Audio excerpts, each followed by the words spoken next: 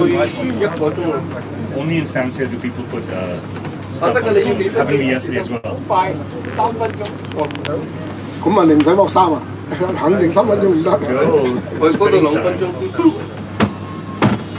Thank you. Okay, we're back at Art Freeman. This is the plush, very plush cotton. It's like uh, it's like suede. What did I call it this morning? It's like velvet. It's a it's a what I call it this morning? It's a brush cotton. Brush cotton. Jump into this. Come on out with your shirt tucked into your shoes back. Why don't you pass me your jacket? I'll, I'll hand you a jacket. Sing. The last one, please. I have 8 million things going on as usual. Let's look at the store around us. Give everyone a view of everything that's going on.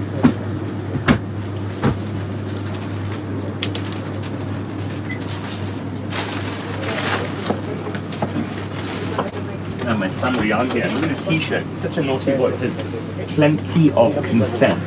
That's me and Rian. Okay, I promise you that's me and Rian. That's not me and a young Chinese boy, huh? It's me and my son. Right? Say young Chinese boy. Louder. Say young Chinese boy. See, they can't hear you. Even I can't hear. Say young Chinese boy. Is he is he is he ready to dethrone you? Say young Chinese boy.